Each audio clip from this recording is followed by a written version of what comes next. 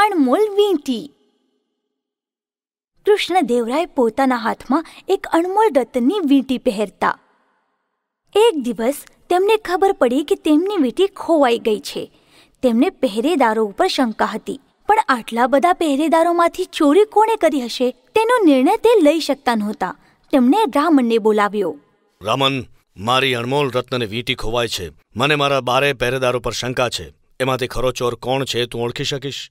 મહારાજ ચોરને પકડવા માટે મારી પાસે એક યોજના છે પણ એ માટે મને શું બક્ષિસ મળશે? જો તું ચોરને પકડીશ તો હું તને સો સોનાની મોહરો બક્ષિસ તરીકે આપીશ. રામનને રાજમહેલની એક ઓરડીમાં બધા પહેરેદારોને બોલાવ્યા.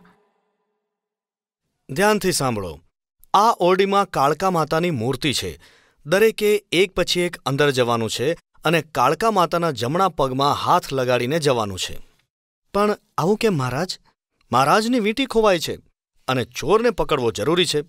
તમે બધા કાળકામાના પગે લાગશો પછી કાળકામાં મારા સ્વપ્નમાં આવીને મને કહેશે કે ચોર કોણ છે.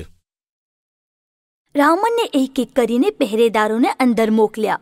પહેરેદારોએ પોતાના હાથ કાળકામાના પગ ઉપર મૂક્યા. જ્યારે તેઓ બહાર આવ્યા બધા પોતપોતાના હાથ મને બતાવો મારે એની સુગંધ લેવી છે. રામનને પહેલાના છ પહેરેદારોને જવા માટે કહ્યું અને સાતમા પહેરેદારના હાથને ગન લેતા જ મહારાજ આ ચોર છે.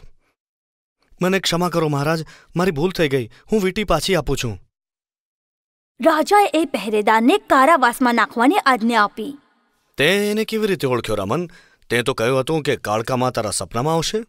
હમ ખૂબ જ સહેલું છે મહારાજ. મેં કાળકામાના જમણા પગ પર સુગંધિત દ્રવ્ય લગાડીને રાખ્યું હતું.